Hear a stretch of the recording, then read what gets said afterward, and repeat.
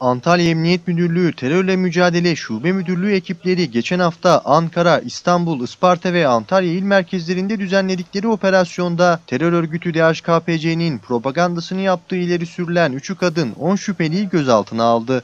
Aralarında öğrencilerin de bulunduğu şüphelilerin evlerindeki aramalarda çok sayıda örgütsel döküman ve dijital veri ele geçirildi.